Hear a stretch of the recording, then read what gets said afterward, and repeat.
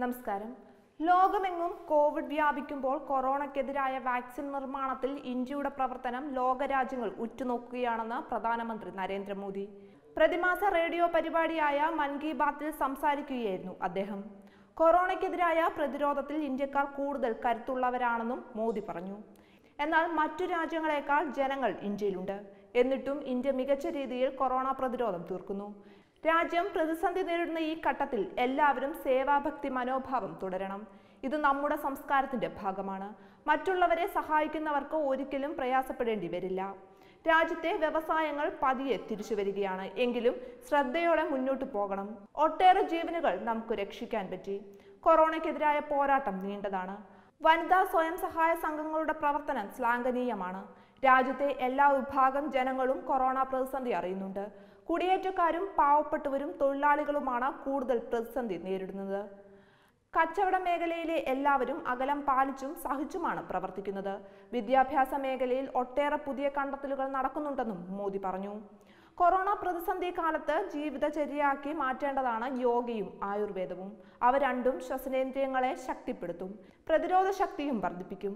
അതേസമയം ആയുഷ്മാൻ ഭാരത് പദ്ധതിയിലൂടെ ഒരു കോടി ജനങ്ങൾക്കാണ് ഇത്തവണ നേട്ടമുണ്ടായത്. ഇരുപത്തിനാലായിരം കോടി രൂപ പദ്ധതിക്ക് വേണ്ടി ചെലവഴിക്കുകയും ചെയ്തു. മറ്റു രാജ്യങ്ങളെ നോക്കുമ്പോഴാണ് ഇന്ത്യയുടെ നേട്ടം മനസ്സിലാക്കുക. മറ്റു രാജ്യങ്ങളെക്കാൾ ജനസംഖ്യയുണ്ട് ഇന്ത്യയിൽ. മറ്റു രാജ്യങ്ങളെക്കാൾ വെല്ലുവിളിയും നാം നേരിടുന്നുണ്ട്. എന്നിട്ടും കൊറോണ വ്യാപനം തടയാൻ സാധിച്ചു. മറ്റു രാജ്യങ്ങളെ പോലെ രോഗവ്യാപനം ഇന്ത്യയിൽ ഉണ്ടായില്ലെന്നും മോദി പറഞ്ഞു. ജൂൺ അഞ്ച് ലോക പരിസ്ഥിതി ദിനമാണ്. ഇത് പ്രകൃതിയെ ശരിയായി പരിപാലിക്കാനുള്ള അവസരമാണ്. മഴവെള്ളം സംരക്ഷിക്കണം. പാരമ്പര്യമായി ഒട്ടേറെ മാർഗങ്ങൾ നമുക്ക് മുമ്പിലുണ്ട്. മഴവെള്ളം ഏഴ് ദിവസം വരെ തടഞ്ഞു നിർത്താൻ സാധിക്കും. ആ വെള്ളം നമ്മുടെ ദൈനംദിന കാര്യങ്ങൾക്ക് ഉപയോഗിക്കണം.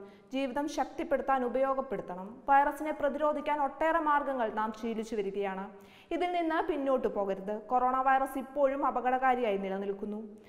കൈ കഴുകണം ശുചിത്വം പാലിക്കണം മാസ്ക് ധരിക്കണം എല്ലാവരുടെയും ആരോഗ്യത്തിന് വേണ്ടി പ്രാർത്ഥിക്കണമെന്നും മോദി പറഞ്ഞു.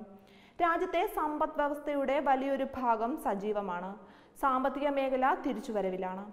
എന്നാൽ ശക്തമായ കോവിഡ് ഭീഷണിയാണ് ഇന്ത്യ നേരിടുന്നത്.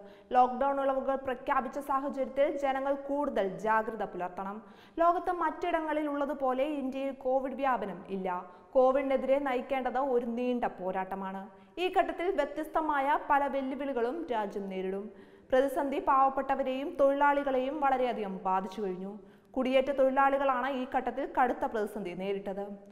തൊഴിലാളികൾക്കൊപ്പം നിൽക്കേണ്ടത് ഈ ഘട്ടത്തിൽ ആവശ്യമാണ്. തൊഴിലാളികളെ ശക്തിപ്പെടുത്തേണ്ടത് രാജ്യത്തിന്റെ ആവശ്യമാണ്.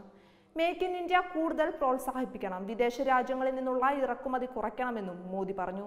വെബ് തത്തുമൈ ന്യൂസ്